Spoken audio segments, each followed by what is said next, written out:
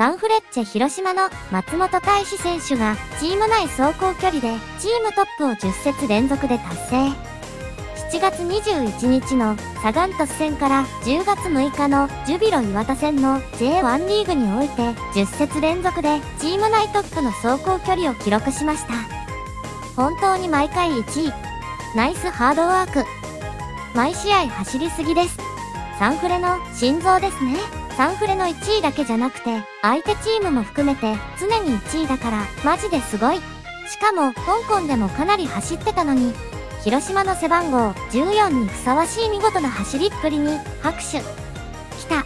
大使来た。こんだけセカンドボール拾って顔出しして防いでるんだ。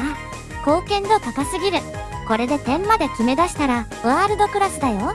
ほらね。走行距離トップ。フル出場したらほぼこうなる気がする。だからすごいんだよ。パブリックビューイングで、キンガさんもめっちゃ褒めてくれた。ポケットの入り方が良いとか、めっちゃ走ってるとか、ベタ褒めでした。